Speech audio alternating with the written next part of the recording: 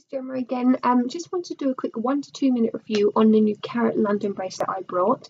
Um, now, in regards to the actual product, I brought the sterling silver Celestia adjustable bracelet. Now, I am wearing it, but I just want to show you quickly in regards to the packaging it comes into. Now, it did retail £129. I tried numerous times to get their email because if you sign up to their like subscription for weekly or monthly mailers, whatever it may be, anyway, they did not kind of send it to me until after I purchased it, which I was a little bit annoyed about. But anyway, I went ahead and brought it anyway at full price, £129. Now it comes in this packaging here. It's just kind of got the Carat Star London. I don't know if you can see that very well. Carat Star London and it does come in this really cute like little box. Now in regards to kind of the actual product I am wearing it like I said it is really really nice. Now for £129 I don't know what I was expecting. I think I was expecting some sort of you know thing that was going to shine at me and make me go wow but when I saw it I thought oh my goodness it is just so absolutely dainty. Now I do have small wrists. I must admit I am quite a curvy girl, but when it comes to my wrist, I am tiny. I can kind of do my pinky to my thing, uh, to my thumb. Now in regards to the actual product, I mean, look, it, is stunning. I mean, this camera does absolutely no justice at all, but it didn't blow me away. But I do really, really like it, and I am going to keep it. Now, in regards to kind of it, I don't know if you can see very well.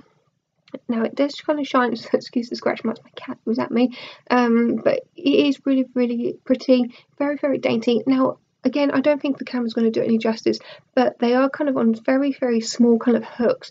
And I just worry in the wintertime, especially if I'm kind of changing into a jumper and it gets caught, is it going to break? I'm a little bit worried about that, but I mean, time will soon tell. I mean, I've worn it all day today.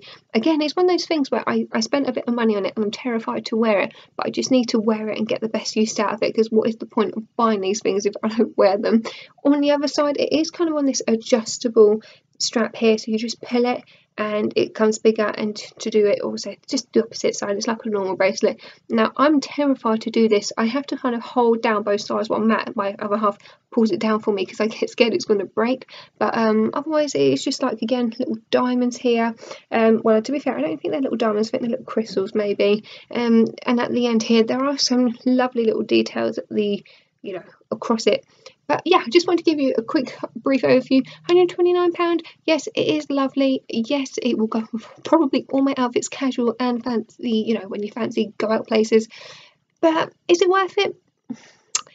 It depends how it's going to make you feel. If you can afford it, get it. If you can't, you're not missing out. I mean, there are so many other ones like it, but I really, really do like it. And I'm personally glad I got it. But I have to be honest with you, if I didn't have it, uh, you know, it's not the end of the world, but I just wanted to let you know. I'll keep you updated. In a month's time, if it breaks, I will let you know. But otherwise, for now, yeah, I'm happy. Thank you so much for watching, and I hope this wasn't too blabbery. Blabbery? Blabbery? Yeah, you know what I mean. Thanks. Bye.